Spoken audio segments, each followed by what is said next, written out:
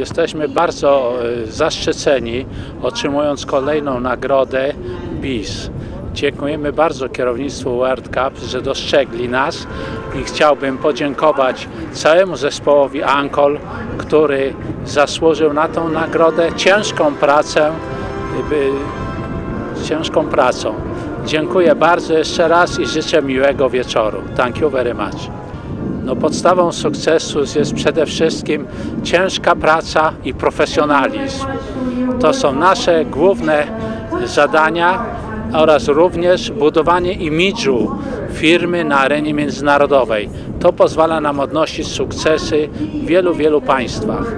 Dziękujemy organizacji World Cup za wsparcie w tym zakresie. A ja jeszcze może dopowiem, że chciałam serdecznie pozdrowić wszystkich tych w Polsce, którzy w tej chwili nas oglądają, przede wszystkim całej załodze, pracownikom oraz wszystkim sympatykom Ankol oraz pozdrowienia dla Mielca. Dziękuję bardzo. Naszą inspiracją jest po prostu bycie z Wami, kole, otrzymywanie kolejnych nagród. To jest nasza inspiracja, żeby wchodzić na coraz wyższe poziomy nagród, które prezentuje World Cup.